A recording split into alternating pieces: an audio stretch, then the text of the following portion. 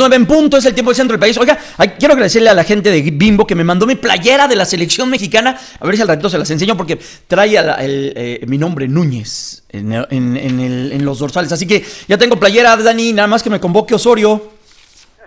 ¿No? ¿Y qué número traes? ¿Qué número te No, no traigo número, nada más trae mi, ah, mi apellido. ¿Y de qué juegas? Yo de carrilero. no, te... te va a poner de portero. Oye, Dani, qué decepción. ¿Cómo estás, Dani? Buenos días. Bien, muy bien, Jaime, amigos. ¿Qué tal? ¿Cómo están? Qué gusto poder saludarles. Buenos días. Sí, qué decepción. Más que decepción, fíjate que eh, preocupación, ¿no? Preocupación, dudas, molestia. ¿Cómo, ¿Cómo lo visualizas tú al equipo mexicano? Tú que eres muy analítico y, estás del otro lado y que tienes un punto de vista siempre muy divergente al de nosotros las tres que acabas de decir, preocupación, eh, un desperdicio de proceso que estás en una, eh, en una división pues muy sencilla como es la CONCACAF, la verdad. Aquí pasas, pasas, o sea, imagínate que México se tuviera que eh, jugar su calificación con la CONMEBOL, con Paraguay, con Argentina, con Brasil. Eh, adiós, ¿no? Eso, eso te obligaría a hacer.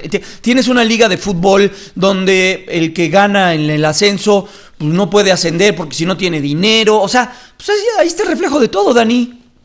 Sí, indiscutiblemente. Son una serie de factores. Es multifactorial todo el tema este que pasa por el fútbol mexicano. Y no quiero decir que todo está mal hecho lo que se hace en el fútbol mexicano. Pero sí es cierto, partamos desde ese punto de vista. Geográficamente nos toca jugar en una zona muy mediocre futbolísticamente hablando. Realmente así es la cosa. Digo, no le busquemos este eh, más, más cosas raras a, nuestro balompié. Es uno de los principios que nos aquejan y que nos han golpeado siempre. No hay competitividad, no hay, muchas veces no hay coherencia, no hay orden en todo lo que se dice y en lo que se hace. Porque muchas veces en las eh, reuniones de los dueños de los equipos, de las comisiones de fútbol y de los eh, dirigentes, y llámele usted como quiera, en las semanas del fútbol se dice, se planea, se acuerda, pero al momento de las ejecuciones, al momento de llevarlo al terreno de los hechos, no ocurre así, Jaime. Claro. Se hacen las cosas, al se va, se hacen las cosas como, como le conviene a, ciertos sectores.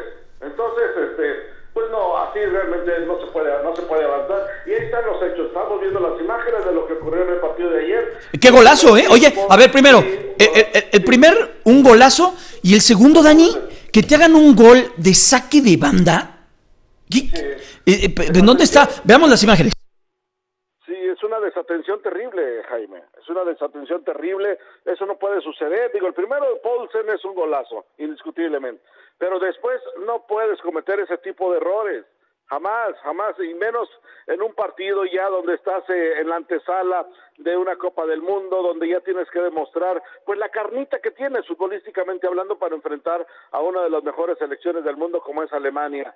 Eh, pero bueno, es, es realmente ahí donde está lo que comentábamos al principio, la preocupación, la falta, la falta de, cohesión del equipo mexicano, de concentración en ese sentido, en esos momentos tan importantes.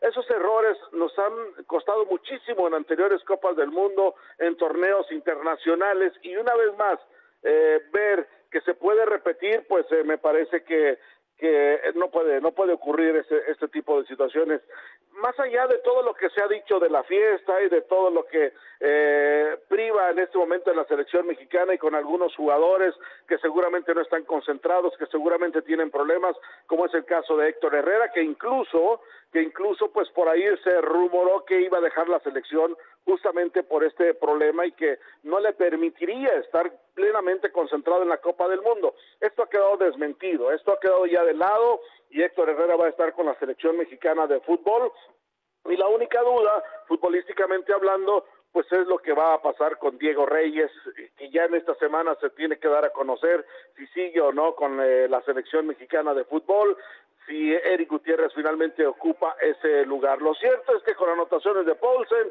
y Eriksen, pues la selección de Dinamarca eh, pues se pone en jaque al equipo tricolor que solamente ha anotado un gol, solamente ha anotado un gol en los últimos partidos y sí preocupa de cara a la Copa del Mundo lo que está ocurriendo con la selección mexicana de fútbol. Eh, Rafa Márquez también entró algunos minutos y pues eh, realmente Rafa con todo respeto y todo lo que representa para la selección mexicana de fútbol, me parece que está fuera de ritmo, me parece que evitable, inevitablemente, pues la velocidad ya no es, ya no es lo suyo. Eh, ojalá en algún momento la selección pueda recuperar eh, algo de ese, de ese fútbol que nos mostró en algunos partidos, en algunos partidos con Osorio y al menos en otras copas del mundo, ¿no? Donde finalmente se crece ante el rival, es una selección que finalmente sí lo hace, ¿eh? Se crece ante rivales de mayor jerarquía y ojalá eso pueda ocurrir eh, en la Copa del Mundo. Pero bueno, eh, se ve complicado, se ve complicado el tema, eh, no queda más que apegar a lo que siempre, o apegarnos, apelarnos, apelar más bien a lo que siempre nos queda a los mexicanos, que es el valor. El valor que siempre tenemos. pues a ver, a ver si nos da para ganar, aunque sea uno de los tres partidos. Estaban diciendo que tal vez hasta el mundial termina antes que las elecciones para México, pero bueno, habrá que ver qué otra cosa traes, Dani. Sí, sí, eh, oye, nada más escuchar a Juan Carlos Osorio. Venga. Lo, lo, que, lo que dice al término del partido y engloba justamente todo lo que, lo que está ocurriendo con la selección. Lo escuchamos. Parece que el primer tiempo fue muy parejo. Eh, era un compromiso eh, con el departamento médico, que tanto Héctor Moreno como Andrés estuvieron solamente 45 minutos. La tentación, como siempre, fue mantenerlos en el juego, pero obviamente hay que respetar ese, esa rehabilitación de ellos. Yo creo que mientras estuvieron ellos y, Héctor, Héctor Herrera, a mí me parece que controlamos muy bien el juego y fue muy parejo.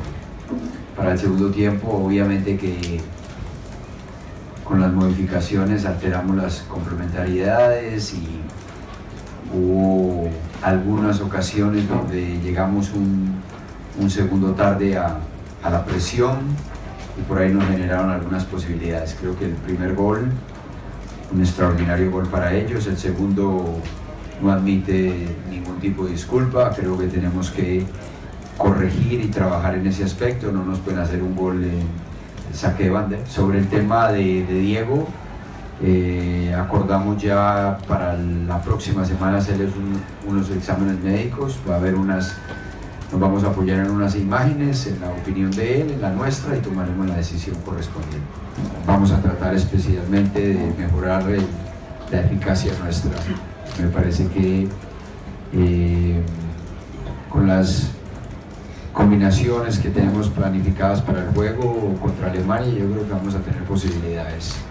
Me parece que eh, Hoy lo más importante es que todos tienen, eh, tienen minutos, Marco Fabián, Jonathan, eh, Jesús, Giovanni, pero obviamente que para el próximo partido ya tenemos muy definido lo que pensamos hacer estratégicamente. Hoy era un partido más, o un juego mucho más similar a, a lo que va a ser Suecia, con dos volantes centrales más para marcar. Entonces creemos que contra Alemania y por lo visto ayer tenemos muy buenas posibilidades de nuestro equipo estar al, al 100% y creo que vamos a estar. Dani. Bueno, pues ahí está, dice, dice que tu cuate, tu cuate Osorio, a, quien tanto defiendes y has defendido en el proceso. ¿No? No, no, bueno, pues eh, no queda más que esperar, Jaime, no queda más que esperar a ver qué ocurre con esta selección mexicana de fútbol. Oye, en el caso de Diego Reyes, entonces, a lo largo de esta semana se va a saber si se queda o se va, o es Eric Gutiérrez el que ocupa su lugar. En otros temas, en, otros temas, España se impone uno por cero a Túnez. Eh, también hay críticas para Lopetegui, el técnico de la Furia Roja.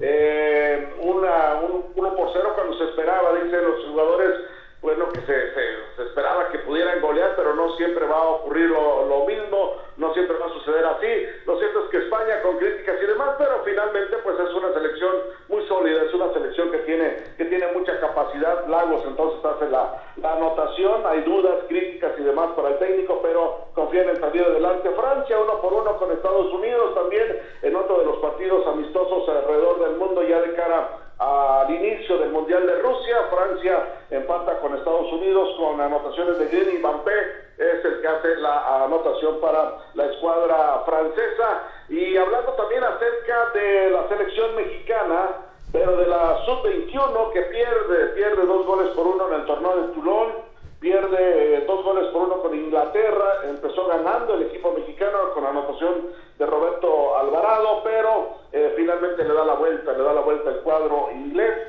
finalmente se lleva la victoria. Eduardo Aguirre es el goleador del torneo, un extraordinario jugador, siete goles, la verdad que llamó mucho la atención. Y Diego Lainez, este jovencito que ayer cumplió también 18 años, 18 años la, la joven sensación de las Águilas del la América, Diego Lainez, pues es declarado el jugador más valioso, el jugador más importante de este torneo, incluso por ahí eh, hay versiones de que lo están viendo, lo están siguiendo muy de cerca del fútbol de Italia, llama mucho la atención por su fútbol fácil, vistoso, por ese buen manejo que tiene con el esférico, la habilidad también, en fin, que es un jugador espectacular, pero habrá que llevarlo con mucha calma. Dos por uno, entonces pierde la selección de México en este torneo de Toulon, allá en Francia. Pues así las cosas, ya una semana, mi querido Jaime, de que inicie la Copa del Mundo el jueves, el jueves entonces estará empezando el Mundial allá en Rusia 2018 y aquí por supuesto tendremos toda la información de lo que está sucediendo, Jaime. Pues sí, Dani, habrá que estar muy al pendiente. Se inaugura cuando el jueves, ¿verdad? El jueves, sí. ¿A qué hora va a ser? El domingo. Por la mañana, 9 de la mañana, 8 de la mañana estará prácticamente iniciando ya todo el, todo el evento. Y de ahí un mes, ¿verdad? De puro fútbol. Ya me lo estoy saboreando, man. Ya me lo estoy saboreando. Qué bueno, Dani. 15 de julio, hasta el 15 de julio. Pues estaremos, estaremos al pendiente y aquí te nos llevarás de la mano en el análisis y nos ayudarás a comprender cuáles las posibilidades que tendrá México y las otras elecciones, porque también habrá el mejor fútbol se estará jugando a partir del próximo 15 de junio hasta el 15 de julio. Habrá partidos buenos, habrá partidos no tan buenos, pero bueno, es el Mundial de Fútbol. Lo mejor de lo mejor del fútbol estará dándose cita en Rusia. Gracias, Dani. Te abrazamos y te deseamos un extraordinario fin de semana. Gracias, igualmente. Nos escuchamos mañana en el 104.1, 5 de la tarde, en FM. Ahí estaremos. Ya llega tu comadre, ¿eh? Para que estés. Mañana, mañana hay tanto. que estar ahí firmes ya. Firmes ahí. Es que Paola Rojas, hay que comentarle a la gente que se fue a Rusia, por cierto, a hacer algunos trabajos que estará presentando a partir del 15 de julio ahí en su espacio de Al aire con Paola y por supuesto también aquí en Radio Fórmula. Gracias, Dani. Abrazo. Ya se fue Dani Rentería. Vámonos a una pausa. 9.12, volvemos.